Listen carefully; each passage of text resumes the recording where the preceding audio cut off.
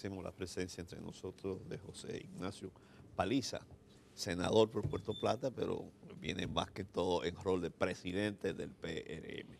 Gracias por acompañarnos y con ya él... tiene como dos meses o tres ya. Sí, sí, no, y además... Tres meses. Tres meses. Tres meses. ¿Y Eso cómo es- te va con la es presidencia? del 24/7. PRM? Es una experiencia eh, interesante, pero es una labor difícil porque obliga, o compromete mucho tiempo, eh, obliga a, ser, a tener un poco de, de paciencia que quizás no sea por mi juventud la característica fundamental.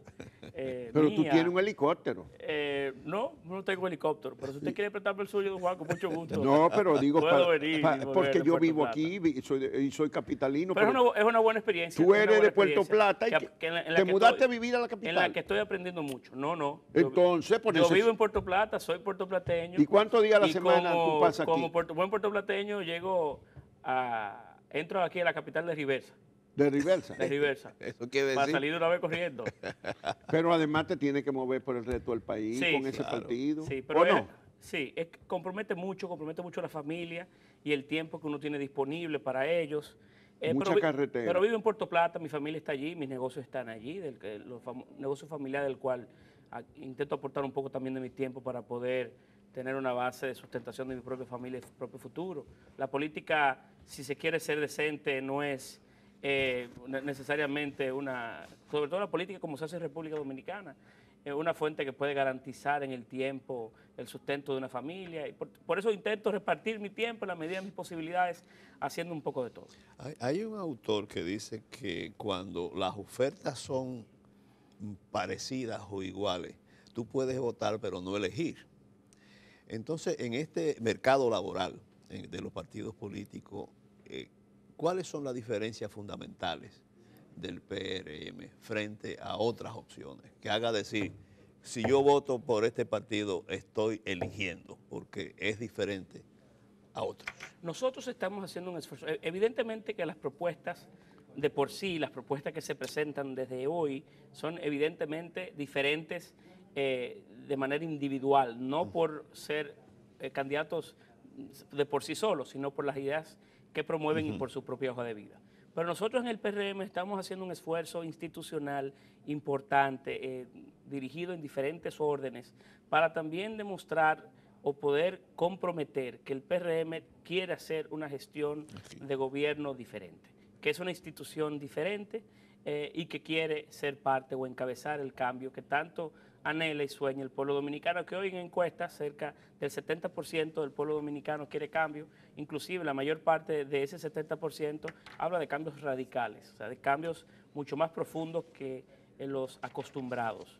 Eh, y en tal virtud nosotros queremos como organización política, basado en ideas, basado en su propia identidad, eh, demostrar que somos merecedores de esa oportunidad porque queremos ser evidentemente diferentes.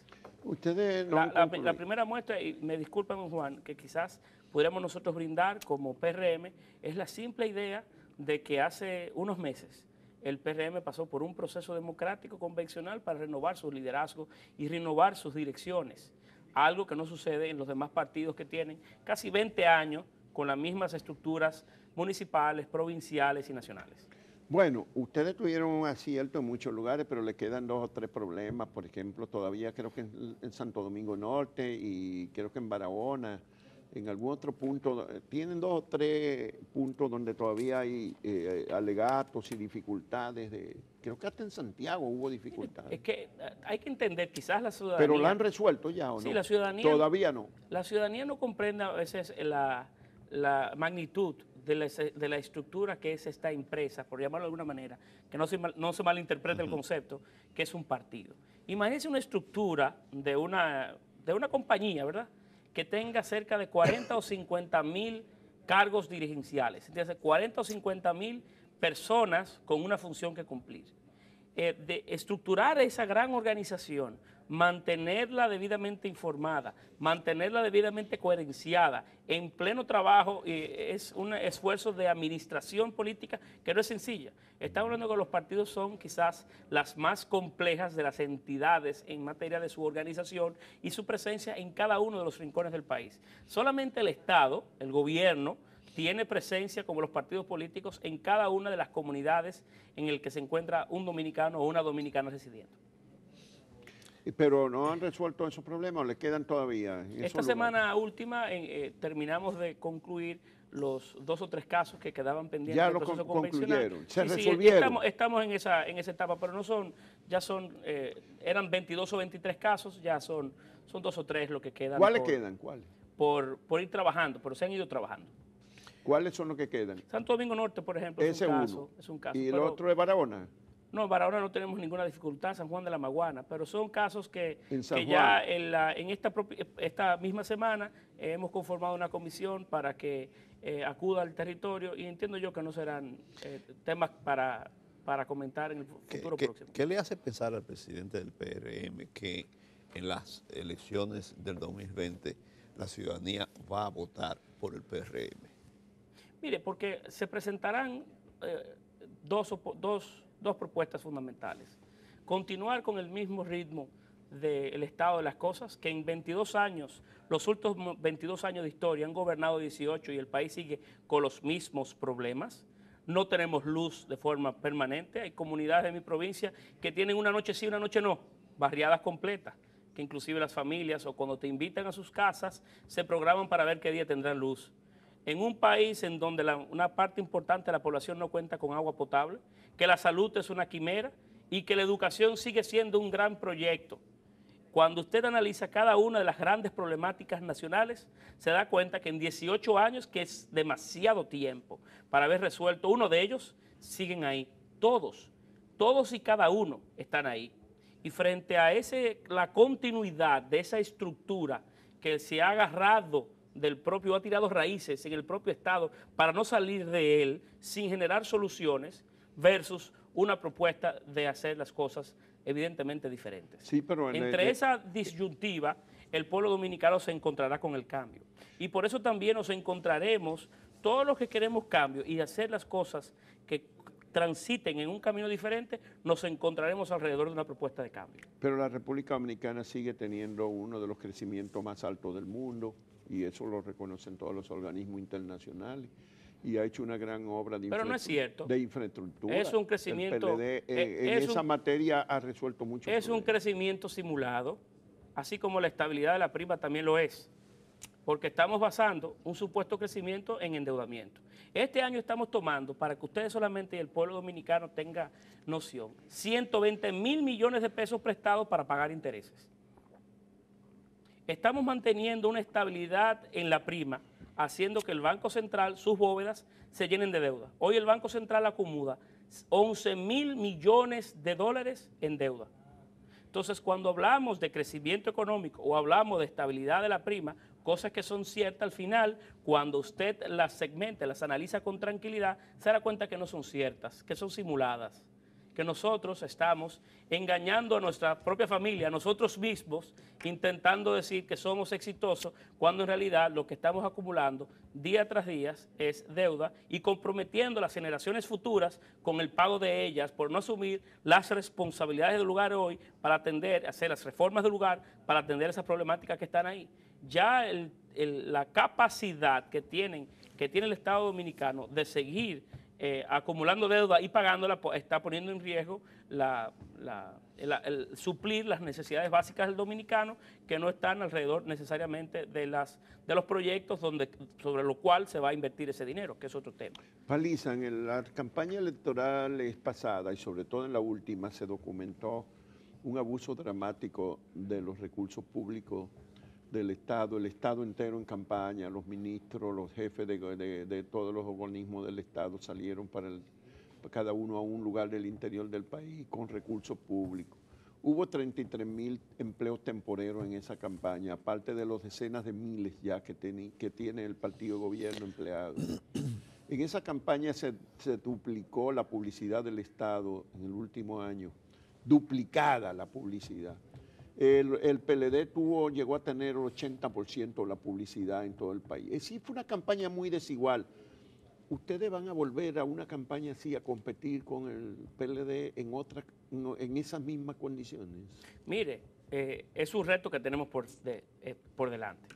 Inclusive la principal razón por el cual, unas razones fundamentales por las que hemos eh, impulsado leyes, tanto la de partido como la electoral, que en el primer caso no es la que nosotros queríamos, ni es la que soñamos, que tenemos diferencias con ella, pero que es un primer paso, es fundamentalmente ese. Intentar colocar reglas a un chivo que vive sin ley. Entonces, eh, porque queremos que la democracia sea diferente y no solamente por el hecho de poder competir nosotros cuerpo a cuerpo con el Estado, sino también pensando en la mujer o el joven, en el ciudadano que tiene una buena hoja de vida, una buena hoja social, un impacto importante en su comunidad, que quisiera participar en política, pero que el dinero es inicialmente el principal limitante para su participación en política. Y nosotros como, como país, más que como partidos políticos, tenemos que movernos y hacer los esfuerzos del lugar para que esas experiencias no se repitan. Pero debo ser honesto, en otros momentos de la historia dominicana, el pueblo dominicano se ha enfrentado a estructuras similares y lo ha vencido. No son esos los elementos que van a detener un triunfo del cambio en las elecciones del año 2020. Y nosotros tenemos la suficiente, la entera determinación y el compromiso, junto a ese pueblo que ha salido a las calles a manifestarse, a marchar, de poder propiciar e impulsar un cambio en el año 2020, por encima de cualquier esfuerzo y resistencia que tenga ese partido gobierno que se ha establecido en la República Dominicana. Eh, parece que hay conciencia de que solo ningún partido puede derrotar a un PLD con esos 18 años y con las raíces en el Estado. ¿Cómo ganarlo entonces? Eh, el PRM, ¿qué plantea para poder aglutinar fuerza con suficiente poder de opción que pueda derrotar al PLD, con el candidato que sea? Mira, lo primero que tenemos que hacer como partido nosotros, como organización hoy, es colocar a un lado por, por momento, ¿verdad?, las diferencias internas partidarias alrededor de sus liderazgos y fortalecer la entidad que nos aglutina. Solamente podremos nosotros convencer al pueblo de que tenemos somos una opción diferente en la medida en la que asumamos nuestra institución, que es el PRM, y le demos eh, connotaciones en su manejo, en sus planteamientos, en las ideas que promueve, en la, inclusive hasta en la personificación de los locales sobre el cual se, se, reúne, ¿verdad? Eh, que somos evidentemente diferentes. Nosotros queremos hacer un esfuerzo desde la institucionalidad del partido para mandar un mensaje de que evidentemente tenemos la capacidad no solamente de organizarlo, sino de generar una gestión de una institución, un buen ejemplo de una forma diferente, con transparencia, con prudencia y con niveles de principios que sean interesantes. Pero mire, creo que el contraste está muy marcado sobre lo que significa mantener las cosas como están y buscar otra alternativa. Sin embargo, en esa construcción también de esa alternativa, nosotros también tenemos que hacer, que es una, que a veces no, no es del todo justo, pero que tenemos que buscar la, mejor, la manera mejor de proyectarlas. Y es hacer una campaña en base a propuestas, no solamente en base a la crítica, porque la crítica usted la, conoce cada día cuando en su casa se va la luz, o cuando no tiene agua, o cuando le sube la factura del colmado. Por tanto, el esfuerzo que tenemos que nosotros construir es también demostrarle a esas familias que evidentemente también tenemos las ideas para complementar esa crítica. Eh, y están ahí, pero tenemos que comunicarlas mejor y ser capaces de construir mensajes que puedan evidentemente llegar a la población y que nosotros podamos ser los que eh, personifiquemos ese cambio que la gente anda buscando. Bueno, la, analista política Rosario Espinal dice hoy en sus artículos que, ah, no si, he leído. que la, si la oposición no se da cuenta de dos cosas fundamentales, no, no puede derrotar al PLD. Una de ellas es el crecimiento económico y con deuda y todo que no es sostenible y ella lo reconoce, pero mientras tanto está ahí. Y otra pero es un crecimiento, no es cierto. Bueno, es pero es un crecimiento económico que no genera empleos. Sí. Es un crecimiento económico que no le pone a usted en su bolsillo, Juan, como un profesional de la comunicación, 100 eh, pesos todos los meses adicionales. Sí, Entonces es un crecimiento Pero un elemento de propaganda que, que, convence a una parte de la población. Y restringido, está contenido el crecimiento en manos de pocos y en manos de, estructuras comerciales o empresariales, que inclusive gran parte de ese crecimiento sale de aquí. no es un crecimiento bueno, y el otro elemento que ella señala son de la, expansión dramática que ha habido del asistencialismo ah, a través de tarjetas y cosas. Muchas de las cuales son controladas por, por los funcionarios y por los dirigentes del PLD, controlan a la gente con esas tarjetas.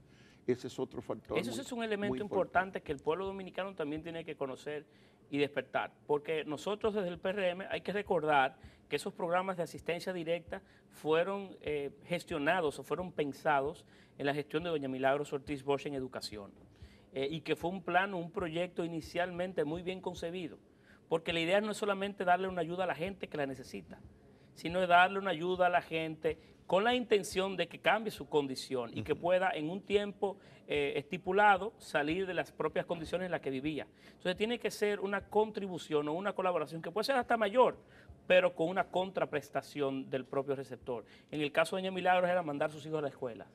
Entonces, ese, los planes que hoy impulsa el gobierno dominicano están muy marcados alrededor de hacer política. Yo estoy muy de acuerdo con usted. Intentar también abusar de la, de la condición del propio dominicano, ¿verdad?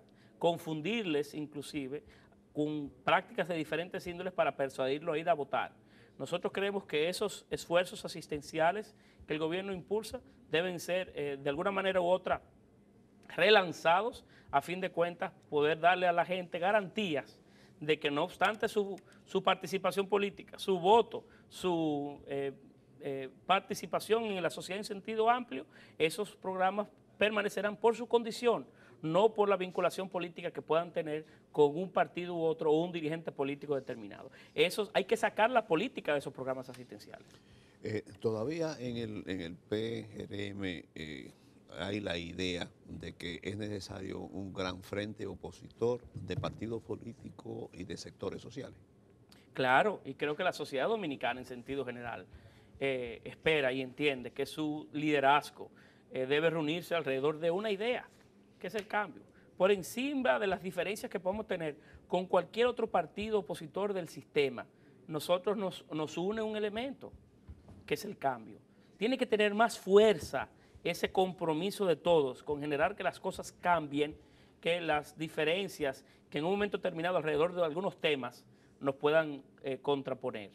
Y creo que al fin y al cabo, en la madurez de hombres y mujeres de gran talento, de una hoja de vida interesante y sobre todo de mucha solvencia, solvencia moral, ¿verdad? Me refiero, y, solvencia política, nos encontraremos para presentarle al país una propuesta de oposición que pueda contribuir a asegurar el cambio que está a manos de todos.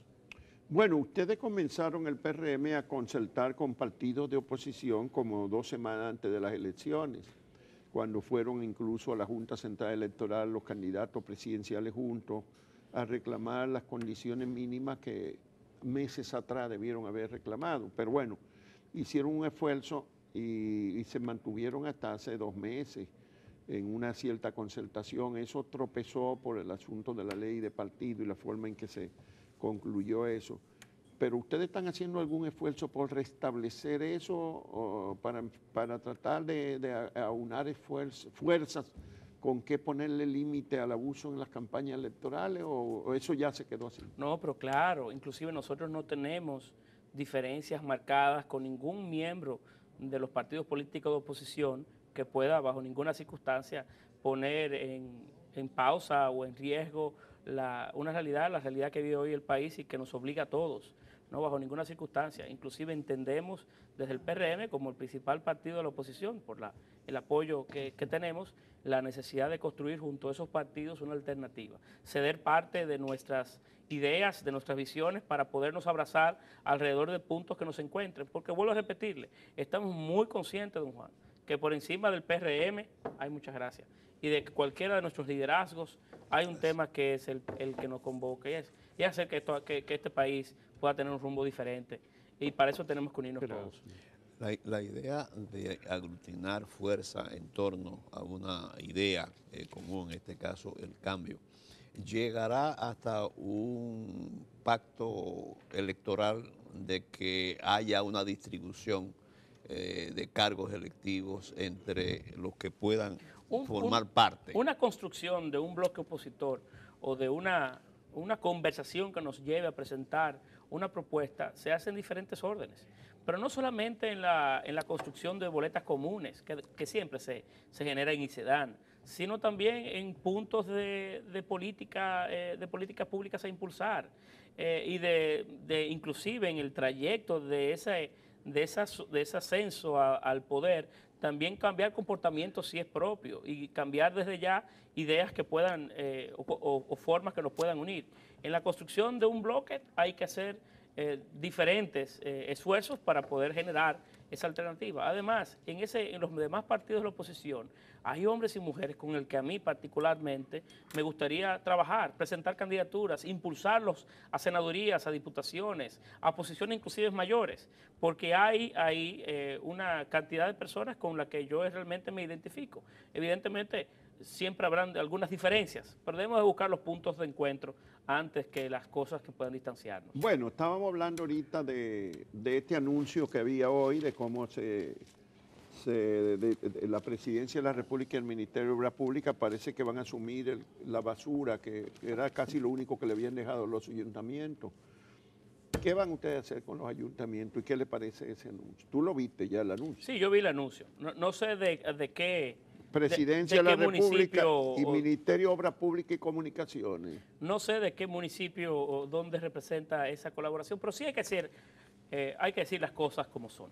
A los ayuntamientos de República Dominicana, claro, muchos demuestran grandes niveles de, de falta de institucionalidad, pero no reciben hoy los, los recursos que requieren, y mucho menos lo que la propia ley de, de las propias leyes de República Dominicana le demanda. Y evidentemente, si seguimos con ese tránsito, que sin fortalecer una estructura que es la primera estructura de asistencia al ciudadano, la más directa al propio ciudadano, viviremos con imágenes como esas o diferentes, en donde el gobierno tendrá que intervenir porque los ayuntamientos no tienen la capacidad por sí sola. Por cierto, quisiera decir que las diferentes mediciones que hace las propias entidades gubernamentales para regular los ayuntamientos y supervisarlos, muchos de los ayuntamientos hoy, los principales ayuntamientos que encabezan ese listado son ayuntamientos vinculados al Partido Revolucionario Moderno, para, para ser justo con algunos de ellos que sí eh, de forma reiterada han tenido participaciones importantes o han tenido, se han destacado de forma importante. Pero los ayuntamientos lo que hay que darle es lo que les corresponde y exigirle los niveles de institucionalidad y transparencia requeridas, pero siempre siendo nosotros, el gobierno dominicano, el Estado, los primeros que incumplir. Bueno, y finalmente lo de Punta Catalina y la solución que le da el gobierno de ese fondo que va va a entregar 300, ¿Cuántos son? 336 millones. 336 millones de, dólares, adicionales eh, ya para la planta de Punta Catalina. Eso es una vergüenza. Con Odebrecht debimos haber concluido nuestras relaciones comerciales hace muchísimo tiempo. ¿Cómo usted puede seguir tratando con una persona que confesó haber utilizado cuanto estuviera en su orden dentro del plano de la ilegalidad para obtener obras? Estamos tratando con una persona que nos engañó, con una estructura que nos engañó. Y frente a esa realidad, entonces, seguir contratando con ellos, que te demanden en tribunales internacionales porque quieren ir más allá de lo, que, lo mismo que contrataron y entonces usted decir, bueno, en lo que se dirime un conflicto, yo te voy a seguir dando dinero para que usted termine la obra. Punta Catalina va camino a los 3 mil millones de dólares. Esa es la realidad. Luego, al fin del cabo, como quieran decírtelo, va camino allí. Y no es verdad que se va a mantener los 2 mil millones de dólares que era el presupuesto original, porque no sé en qué lógica matemática, 2 mil millones de dólares o 1.950 y tantos millones de dólares, más los dineros que hoy han comprometido a través de, este fondo eh, que se ha creado, sigue siendo la misma cantidad de dinero. Nosotros creemos, pensamos, que evidentemente Punta Catalina es una obra culminada, está a puntos muy avanzados, pero que son errores tras errores lo que se vienen cometiendo alrededor de la ejecución de ese propio proyecto tratando fundamentalmente con una persona que es un confeso, eh, una entidad confesa que ha violado todos los preceptos para engañar al Estado dominicano, para engañar al propio pueblo dominicano. Y por tanto, este no es un ejemplo eh, a seguir en ninguno de los órdenes en el que se pueda pensar. Bueno, eh, José Ignacio, ¿qué hacer para evitar que las luchas internas que van a prolongarse ahora, una de las, de las cosas que plantea la ley de partido que prolonga ese proceso de luchas internas por las candidaturas, porque antes los candidatos se elegían, la última vez creo que lo eligió en abril el PRM, eh, el candidato presidencial, pero ahora va hasta octubre. Pero eso va a dispersar la atención y las energías de ese partido durante meses en la lucha interna frente a graves problemas del país y, la necesidad de ir hacia el electorado, más allá de la lucha por la candidatura dentro. ¿Cómo resolver ese problema, ese dilema? Mira, ha habido diferentes experiencias en relación a la elección de los candidatos presidenciales, algunos que se han electo antes, otros un poco más tarde en el tiempo. Nuestra, mi visión muy particular es que queríamos o queremos que en el marco de la ley de partidos esos procesos pudieran limitarse a mucho más. Inclusive creo que algunos de los plazos simple, a simple vuelo de pájaro, en virtud de los calendarios y de las propuestas que se han hecho, que claro, debo volver a decir, es abuelo de pájaros, porque no he tenido la oportunidad, ni en el partido hemos tenido la tranquilidad de, leer las, las, diferentes documentaciones que se nos han entregado y analizarlas, pero nosotros quisiéramos un proceso mucho más cortos, eh, porque no creemos que este país puede vincularse o estar atento de forma permanente a la política.